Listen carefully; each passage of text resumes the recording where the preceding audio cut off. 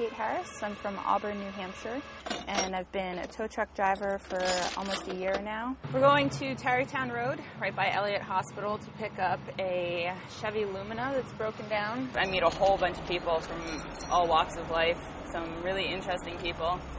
Um, who just happen to have a bad day, and I get to help them out. Thank you. Thank you. All right. I definitely love the reactions I get from a lot of people. I'm not exactly who they expect to see hop out of the truck when, when they call for AAA. 4080 AAA. I'd say I kind of fell into this.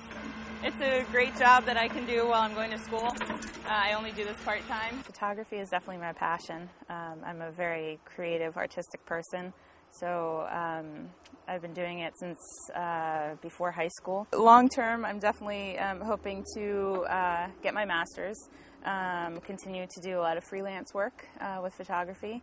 Um, who knows where tow, tow truck driving is going to take its place? Um, right now, it's definitely um, a really important part of my life. I'd say in the end, it's all about being satisfied and going home after a day, a long day, and feeling like you've done something worthwhile. Um, I'd say that carries over into all aspects of my life right now, knowing that I've helped out a number of people throughout the day and taking pictures and bringing uh, bringing new light into people's lives who might not have been able to experience that image in any other way. Um, it's a really satisfying feeling.